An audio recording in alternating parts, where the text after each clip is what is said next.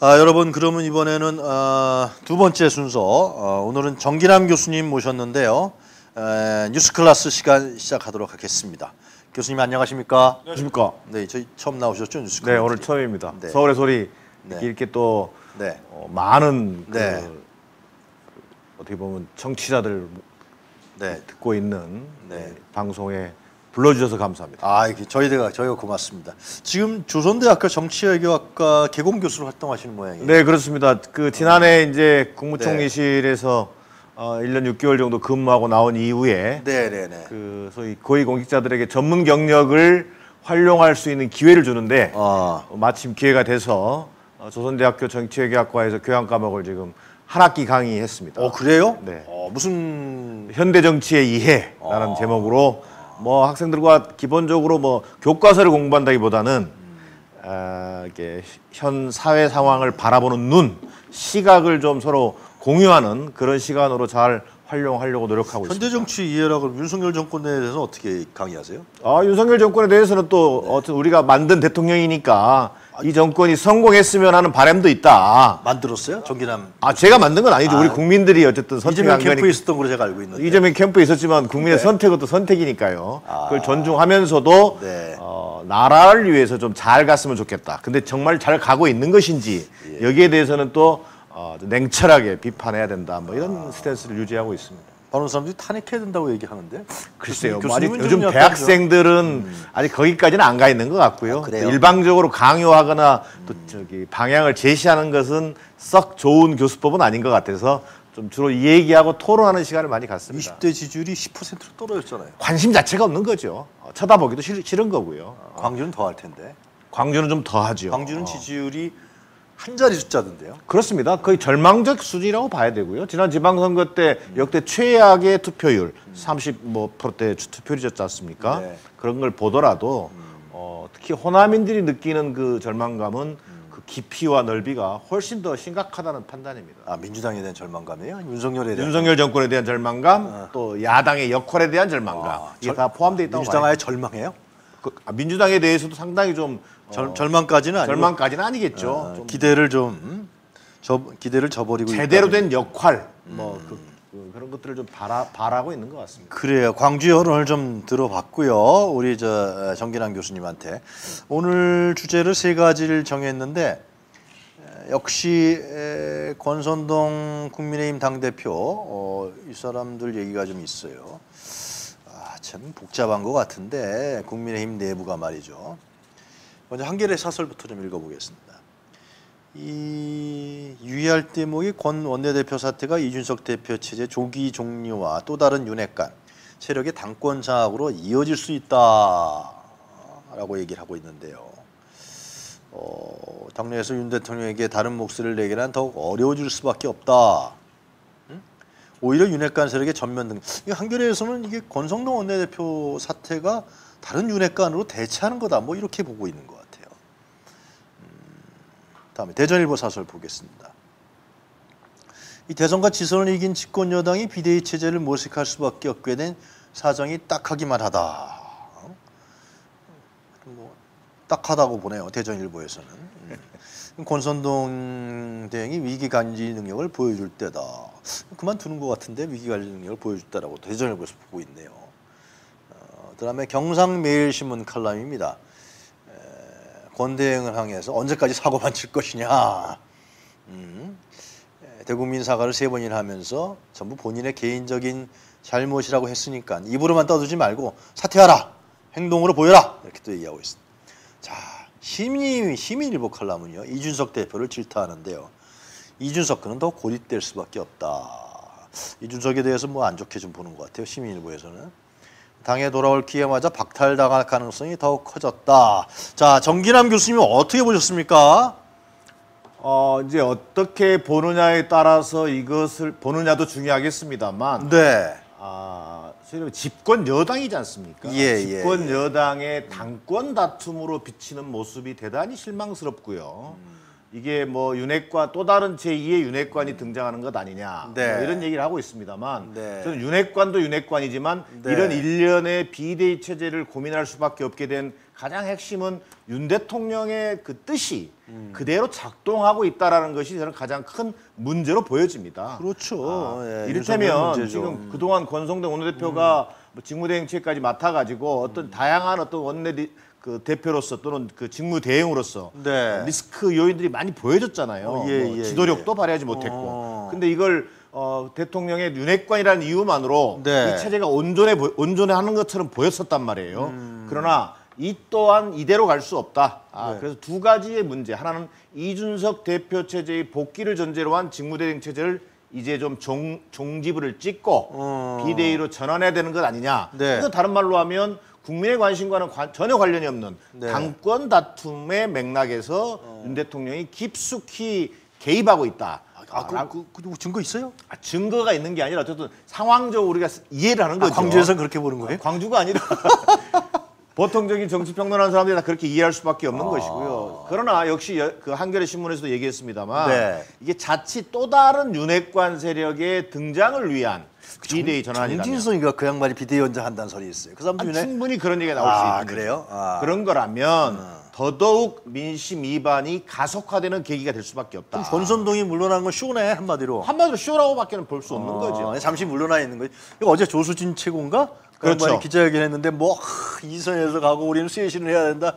쇄신도 아니네 이거는 도대체. 쇄신이 아니라 어찌 보면 그렇게 되면은 눈 가리고 아웅하는 식이 될 거고요. 아. 결국은 윤석열 대통령의 윤심을 그대로 받드는 정부 여당, 이게 소위 집권 여당이 된다는 거죠. 어, 다른 말로 하면 뭡니까? 옛날에 그동안 그렇게 많이 비판해왔던 여당이 완전히 여의도 출장소로 전락하는 그런 하나의 장면을 지금 보여주고 있다고 봐도 과언이 아닐 것 같습니다.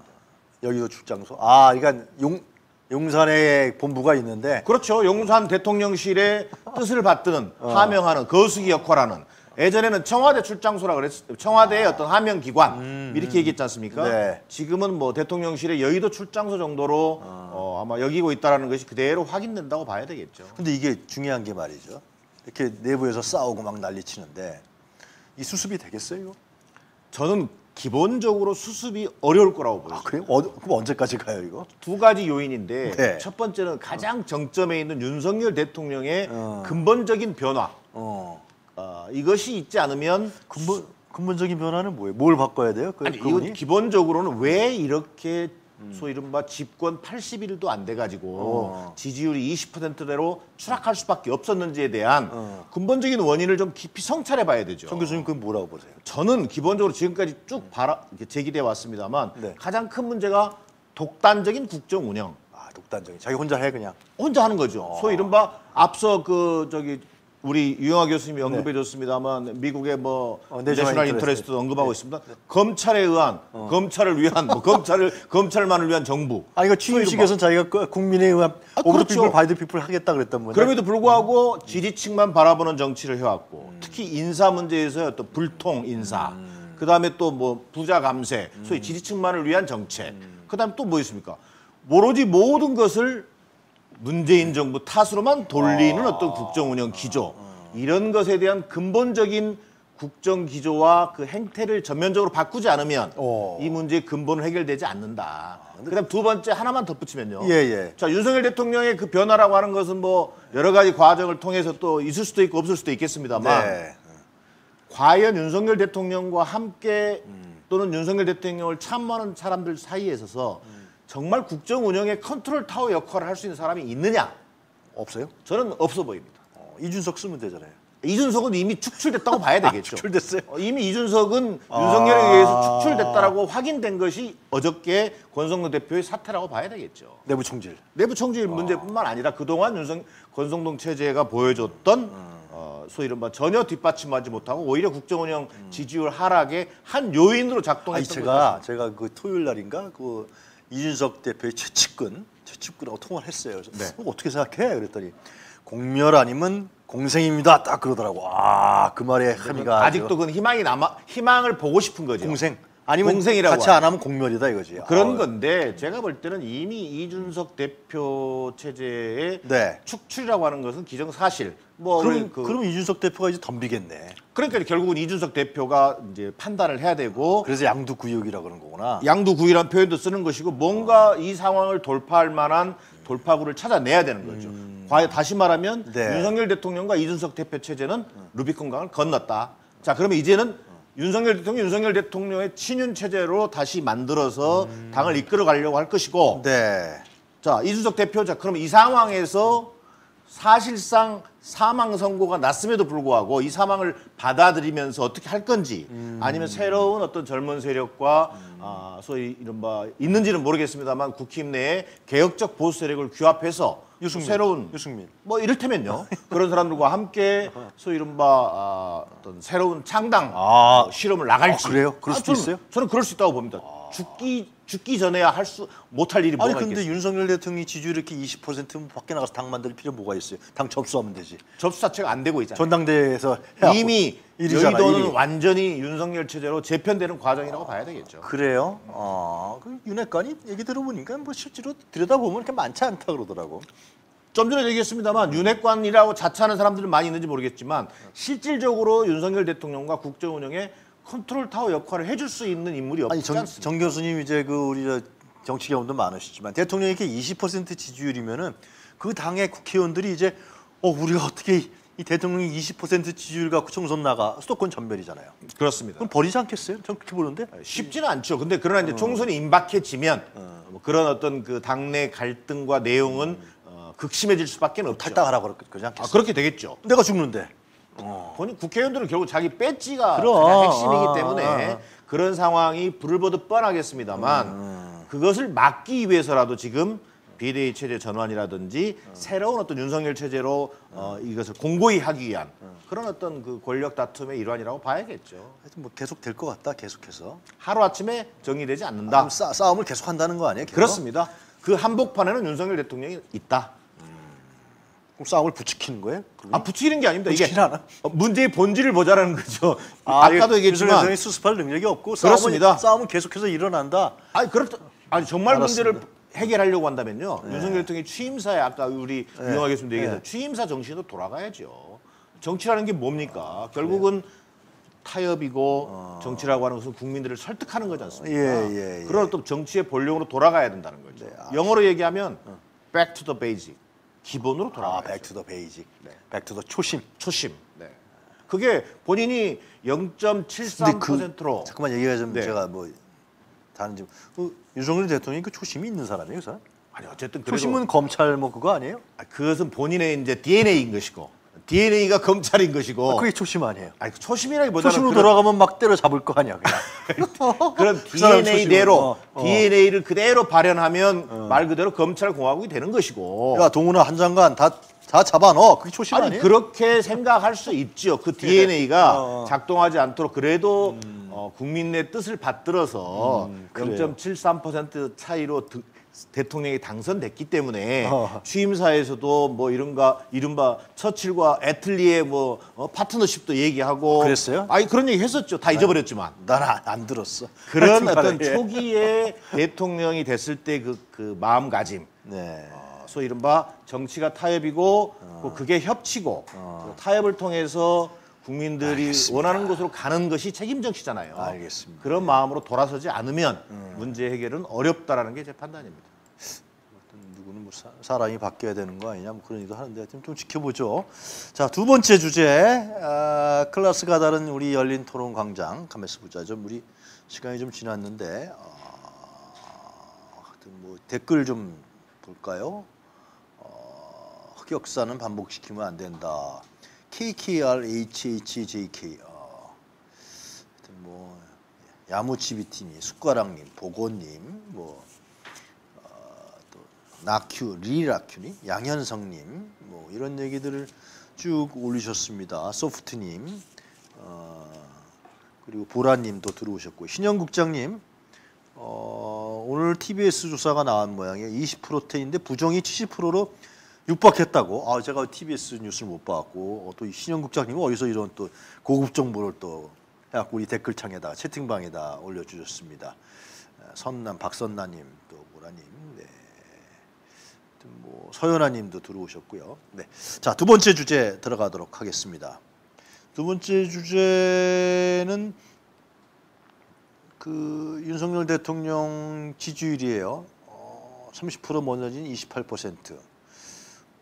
어, 부정평가가 20, 62%예요. 오늘 또 TBS 조사에서는 부정평가 70%까지 갔대요. 이건 거의 다 지지하지 않는다는 거 아니에요? 이, 여론조사에서 이렇게 나올 정도면 그죠? 최소한의 어떤 바닥 지지층만 있는 것이고 바닥. 바닥이죠. 아, 그러니까 어쩔 수 없이 그래 지지해. 아 그럼요. 뭐 어, 어쩔 수 어, 없이 이미 그런 사람들 불쌍하니까 그렇습니다. 뭐 그러니까. 그거 왜 이게 바닥을 보이고 있다. 뭐 이렇게 보이는 게딱 한마디로 정리할 수 있을 것 같습니다. 오마이뉴스 칼럼 어, 20% 지지율은 레임덕 수준이라고 평가하네요 여기서는요. 어, 실제로 그 말 안 듣는 거네. 아마 과거의 역대 대통령 중에 이명박 대통령이 유일하게 이제 취임 그 6개월도 안 돼 가지고 결국은 20% 지지를 보인 적이 있지만 그 당시에는 그래도 이 광우병 파동이라고 하는 굵직한 이슈가 있었잖아요. 그렇지. 근데 지금은 뭐 그런 이슈도 없는 상황에서 20% 진입은요. 사실상 내각제 국가에서는 이미 총선을 치러도 몇 번 하야하고 총선을 치르는 그런 상황이죠. 국무총리실에도 계셨잖아요. 20% 지지율이면 그 관료사에서 어떤 일이 벌어질지. 모르겠어요. 관료들이 우선요 움직이지 않게 됩니다. 뭐 해요 그럼? 아니 그렇게 나와서 요 위에서 요구하는 청와대 어. 이른바 대통령실에서 요구하는 것만 밑받침하는 역할 외에는 어, 안 안? 하게 됩니다. 그 이른바 그게 국정운행 동력 자체가 아. 완전히 이렇게 약화 또는 정지되는 상태로 갈 우려가 있다는 거죠. 아, 답답하겠네 그럼 윤석열 대통령. 아, 근데 본인이 이제 답답한지는 본인만 아는 거죠. 검찰 한동훈 장관 해갖고 뭐 국정운영하면 될 거 아니에요. 그래서 아마 지금 그 윤석열 대통령의 이 초심은요 다시 그 검찰총장 시절의 어떤 검찰 행정 하듯이 이렇게 가고 싶을 거예요. 아. 자 그러나 그렇게 초심이 국정은- 아니라 본심. 본심. 그러나 국정은 그렇게 운영될 수 없다라는 것을 아. 이미 확인했고 아? 앞으로도 할 수 없다라는 것을 본인이 알고 있기 때문에 답답한 것이고 네. 하여튼 뭐 그 사람 답답한 것까지 우리가 걱정할 필요는 어, 없잖아요. 물론 그렇습니다. 근데 대통령이니까 걱정해야지. 우리의 참 국정 운영에 책임지고 있는 분이니까. 네, 디지털 타임스 칼럼을 좀 볼까요? 여기는 아, 애시당초 운전자 선발대회에서 화끈한 운전 실력을 자랑하였다는 이재명 씨나 홍준표 씨를 뽑았을 거라는 탄식까지 흘러나온다고 합니다.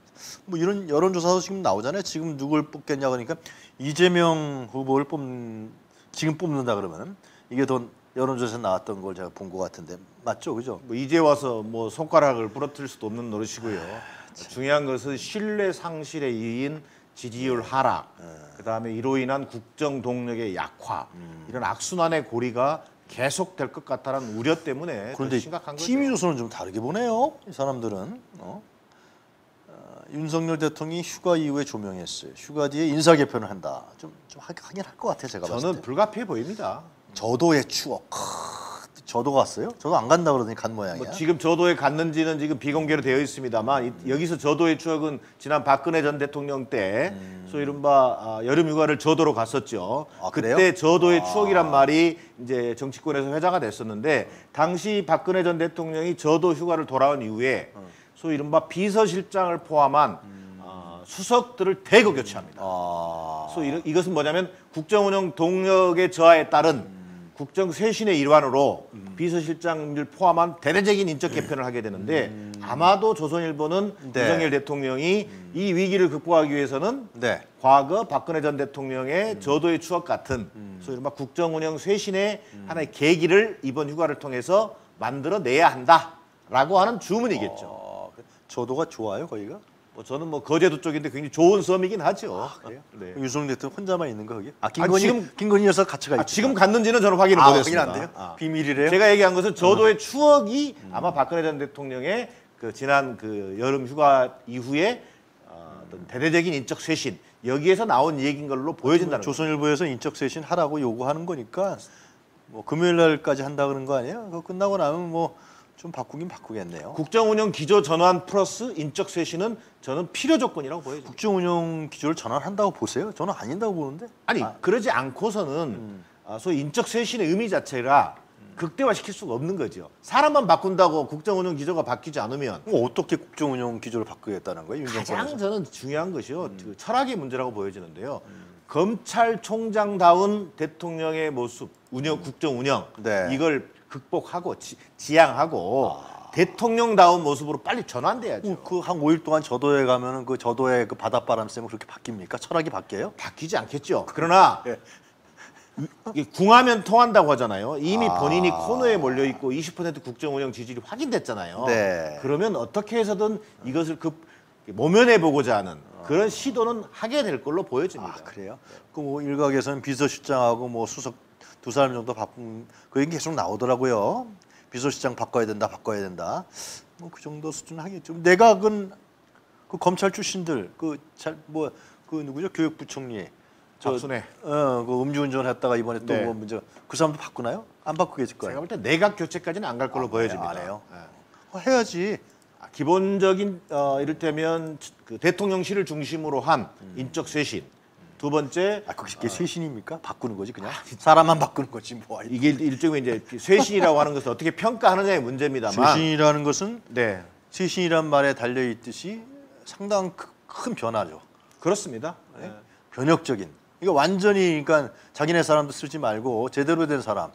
어, 그리고 국정 기조도 바꾸는 그렇게 돼야 되는데 글쎄요. 비서실장 노리는 사람 많던데 주변에 그 안에 있는 사람들. 그리고 이제 집권 여당의 체제 전환 뭐 이런 것들이 이제 그 시동이 걸리는 뭐 그런 정도가 예상할 수 있을 것 같습니다. 네, 그래 하여튼 뭐 보죠 한번 어떻게 하는지 한 주일 동안 뭐 어, 그 동안에 어떤 일이 발생할지 모르겠습니다만은 어, 야무치 TV님, 야무치 TV 입장가님, 뭐 느티나무님, 포니님, 김소영님 이런 분들이 계속 지금 음, 채팅방에서 말씀을 해주고 계십니다. 에, 보라님, 나니님, 미니미니님도 어, 어, 윤석열 본인의 개인 기준이 국정의 전부가 되어버리는 비정상적인 형태다 이렇게 말씀해 주셨고요.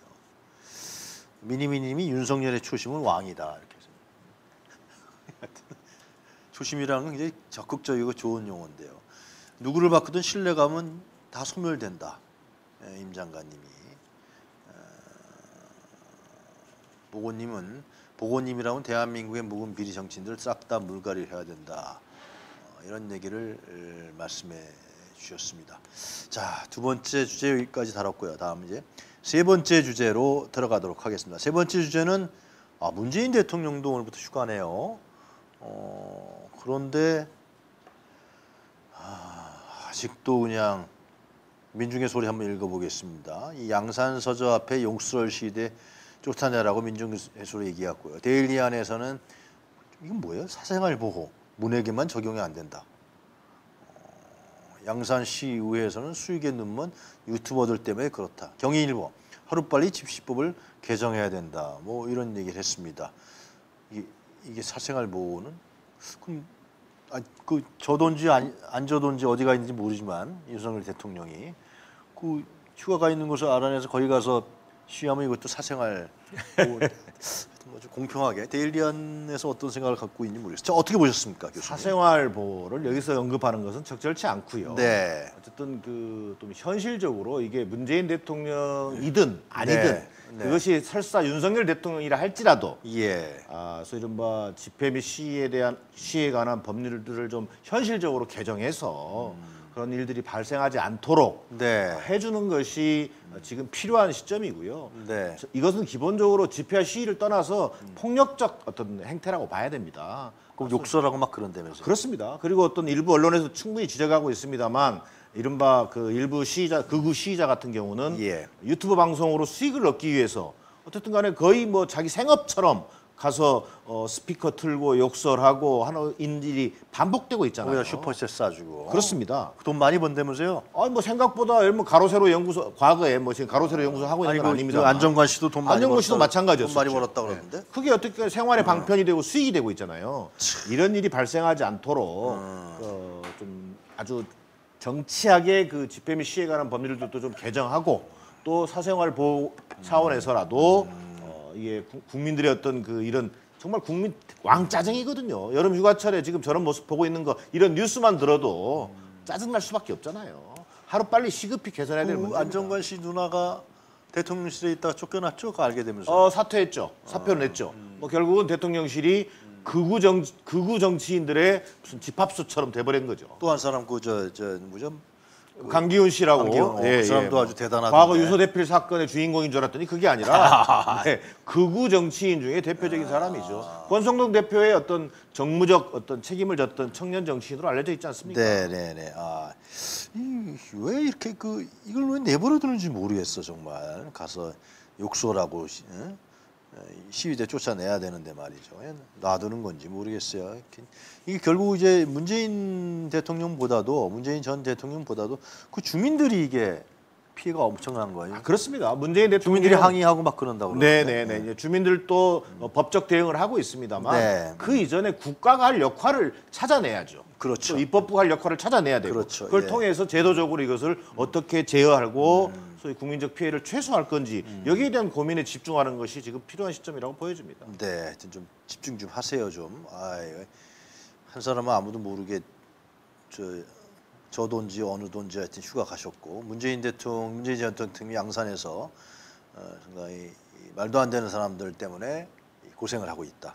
우리 전직 대통령이 지금 문재인 전 대통령 지지율이 훨씬 높죠. 조사하면요. 조사하면 더 높게 나오겠죠. 그러나 전직 대통령의 지지율은 무슨 의미가 있겠습니까? 아니, 그래도 어, 대중적인 지지인데요. 네.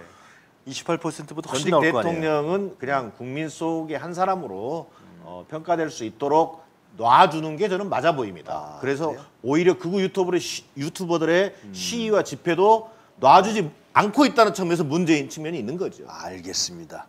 자, 김철규 님이 더 이상 이제는 더 이상 기대는 안 돼요. 소리 소리 응원합니다. 아, 이거 건욱방님 뉴스 코멘터리 들으면 들을수록 빠져드는 매력이 있다. 오늘 정기남 교수님 나오니까 그냥 더 빠져드는 모양입니다. 더 열심히 하겠습니다. 예, 안녕하세요. 뭐. 아, 또 이제 다른 분들도 아니 그렇게 뭐 아, 하여튼 뭐 청보라님 또 보미님 아, 서동현님 뭐 천사님 이런 분들이 예, 미렐리님 수고가 많으십니다. 이런 분들이 채팅방에 글을 올려주셨습니다. 자 오늘 아, 뉴스 클래스 정기란 교수님 모시고서 광주에서 또 어떻게 바라보는지 아, 그런 얘기도 들어봤고요. 하, 윤석열의 추심은 무엇인가? 그건 본심 왕이다. 뭐 어떤 채팅방에 그런 글을 올려주셨는데 그런 얘기도 들으면서 우리 세 가지 주제를 다뤄봤습니다. 자 교수님 감사합니다. 네, 감사합니다. 조심 백은종 그 투쟁의 기록 개벽이 출간되었습니다. 윤석열의 등장을 예언한 채 개벽 검찰 공화국을 막아라 무소불위의 검찰을 그동안 아무도 건드리지 못했다. 검찰을 손볼 세력이 어디에도 없었기 때문이다. 하지만 뛰는 검찰에 나는 국민이 있다. 전두환 군부 독재와 이명박근혜 정권마저 붕괴시킨 촛불 시민들이 그따위 검찰 출신 나부랭이들의 폭거에 굴하겠는가? 위기의 대한민국 윤석열 검찰공화국에 맞서 싸울 촛불 시민들의 투쟁의 지침서 조심 백은종 국가와 민족을 위한 그 투쟁의 기록 개벽 여러분의 지지와 성원을 기다립니다. 감사합니다.